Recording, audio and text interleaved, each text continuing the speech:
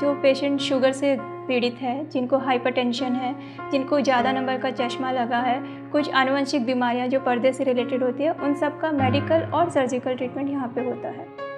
Retina के आंकलन और सर्जरी के लिए सबसे आधुनिक पद्धति का इस्तेमाल किया जाता है। मरीजों की जरूरतों को ध्यान में रखते हुए हमारे रेटिना विभाग में सर्वश्रेष्ठ इलाज रियायती दरों पर उपलब्ध है। Gomabai Netralaya. Total eye care for all